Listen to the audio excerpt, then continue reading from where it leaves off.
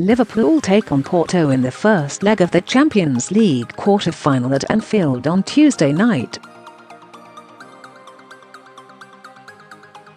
The two sides met in this competition last year, and the Reds came through 5-0 on aggregate, so it is no surprise that they are hot favourites to progress again. Jurgen Klopp's men have won their last five games in all competitions and are unbeaten in 14, dating back to 7 January. Porto haven't lost in six and are in a similarly tight title race in Portugal to Liverpool in England, currently level on points with Benfica at the top of the Primeira Liga.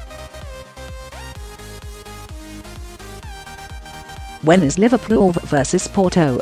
The match is on Tuesday 9 April with kick-off at 8pm at Anfield. What TV channel is Liverpool vs Porto on, and is there a live stream? BT3 will be showing the game live with coverage starting at 7. 15 pm. Subscribers will be able to stream the contest on BT Player or watch on the BT app. Team News Liverpool will be missing Andy Robertson as the left back is suspended, so James Milner could fill in. Virgil van Dijk and Georginio Wijnaldum should be available despite knocks, but Adam Lallana, Joe Gomez and Alex Oxlade-Chamberlain remain out. What are the odds?